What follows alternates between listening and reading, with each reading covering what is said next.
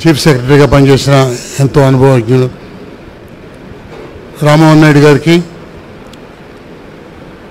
పవన్ కళ్యాణ్ గారికి తోడుగా నేడుగా ఉంటూ ప్రతి సందర్భంలో ఆయనకి సలహాలు ఇస్తూ తన అనుభవాలన్నీ కూడా పార్టీకి ఉపయోగిస్తూ ఈనాడు మన ముందుకు వచ్చిన మాధవస్ గంగాధర్ గారికి అలాగే తులసి గారికి హరిప్రసాద్ గారికి కాకినాడ పార్లమెంట్ సెగ్మెంట్లో నిలబడిన శాసనసభ్యులకి ఎంపీకి ముఖ్య నేతలందరూ కూడా ముందుగా నా స్వాగతం నా శుభాకాంక్షలు. ఎన్నికల అనంతరం మనం ఈ సమావేశాన్ని ఏర్పాటు చేయడం జరిగింది. మన అనుభవాన్ని తెలుసుకోవడానికి మీరు వచ్చారు. అది ఒంటి వన్ మీతో మాడతానని చెప్పారు నాతోని ఈనాడు ముఖ్యమైన ఉద్దేశం మీలో ఒక ఉత్సాహాన్ని విశ్వాసాన్ని పెంచడానికి పార్టీకి మంచి భవిష్యత్తు ఉందని చెప్పడానికి వచ్చారు. అంతేకాకుండా రేపు జరగబోయే స్థానిక సంస్థల్లో కూడా ఏ విధంగా పోరాటం చేయాలని చెప్పి మనకి కొన్ని విషయాలు చెప్పడానికి ముందుకు వచ్చారు. ముందుగా మాధవస్ గంగాధర్ గారిని నేను అభినందించాను ఆయనకి విశేషమైన రాజకీయ అనుభవం ఉంది. ఎన్టీ రామారావు గారి దగ్గర ఎమ్మెల్సీ చేశారు. చంద్రబాబు నాయుడు దగ్గర చేశారు. రాజశేఖర గారి దగ్గర చేశారు. అందరి దగ్గర ఎమ్మెల్సీ చేసి రాష్ట్ర వ్యాప్తంగా ఆయనకి అన్ని పార్టీలు ఉన్న వ్యక్తులతో పరిచయం వ్యక్తి ఆయన. ఆయన పిఎస్సిలో మెంబర్గా వేసుకోవడం అనేది చాలా గొప్ప ఆలోచన.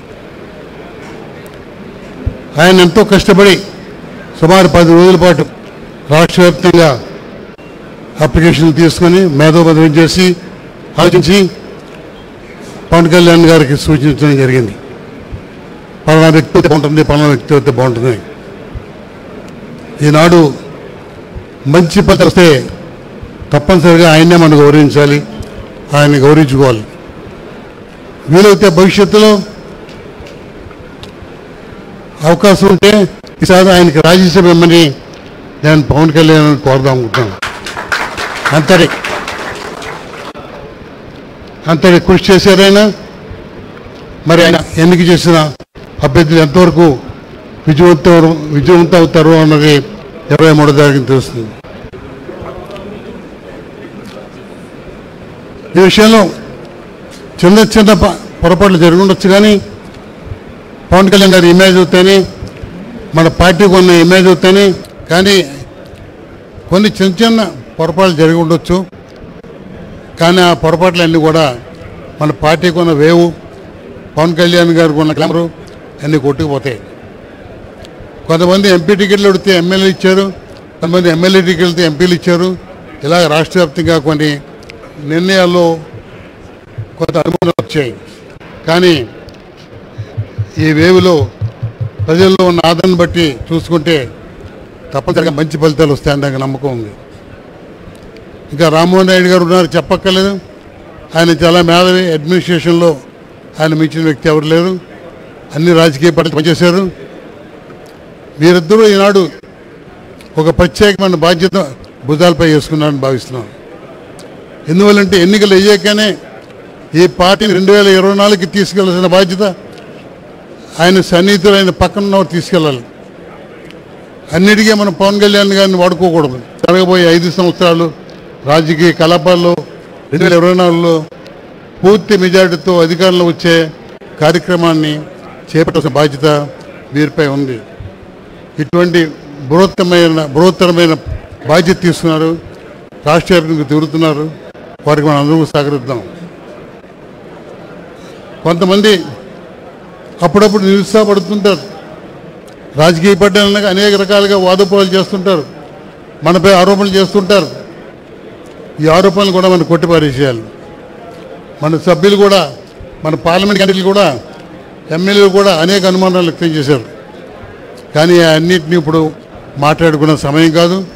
రిజల్ట్స్ వచ్చాక మంచి ఫలితాలు వస్తే అన్నీ తెరమరుగుతాయి కాబట్టి చాలా పెద్ద బాధ్యత తీసుకున్న రామ్మోహన్ నాయుడు గారికి మాధవస్ గంగాధరన్ గారికి హరిప్రసాద్ గారికి ముందుగా మీరు పెద్ద టార్గెట్ తీసుకున్నారు. రెండు వేల ఇరవై నాలుగులో పవన్ కళ్యాణ్ గారిని ముఖ్యమంత్రిగా చేసే స్థాయిలో పార్టీని తీర్చిదిద్దాలని మీరు ప్రయత్నం చేస్తున్నారు. దానికి కృషి చేయాలి. కాబట్టి పవన్ కళ్యాణ్ గారు అవ- అవసరం వచ్చినప్పుడు బయటకు వస్తారు. ఆయన కొన్ని పరిస్థితుల్లో ఆలోచిస్తారు. మనకంటే బాగా ఆలోచిస్తారు. ఎప్పుడు ఆయన్ని ఓడుకోవాలన్నది ఆయనకు తెలుసు. వాళ్ళు చెప్తారు అప్పుడు దాకా బాధ్యతలన్నీ మీరే మోసే పార్టీని ముందుకు తీసుకెళ్ళాలి. విశ్వాసం కలిగించాలి. కార్యకర్తల్లో కానీ ఎమ్మెల్యే క్యాండిడేట్స్లో కానీ ఎమ్మెల్యే క్యాండిడేట్స్ పోయినా కూడా వాళ్ళు విశ్వాసం కలిగి పార్టీలో కొనసాగి రెండు వేల ఇరవై నాలుగు వాళ్ళు సిద్ధం చేయవలసిన బాధ్యత మీపై ఉంది. కాబట్టి ఈ విషయం దృష్టిలో పెట్టుకుని మీరు ఇప్పటికే మొదలుపెట్టారు రెండు మూడు జిల్లాలు తిరిగారు. అన్ని జిల్లాలు తిరుగుతారు. ఎన్నికల లోపల పార్లమెంట్ సెగ్మెంట్లన్నీ కూడా మీరు టచ్ చేయండి. టచ్ చేసి అవగాహనకు రండి. తర్వాత తదుపరి కార్యక్రమాన్ని ఏం చేయాలన్నది పోల్ మన కౌంటింగ్ అయ్యాక మనం డిసైడ్ చేయవచ్చు కాబట్టి మీకు తీసుకున్న బాధ్యత సక్సెస్ఫుల్గా ముందుకు వెళ్ళాలని కోరుకుంటే సెలవు తీసుకున్నాను.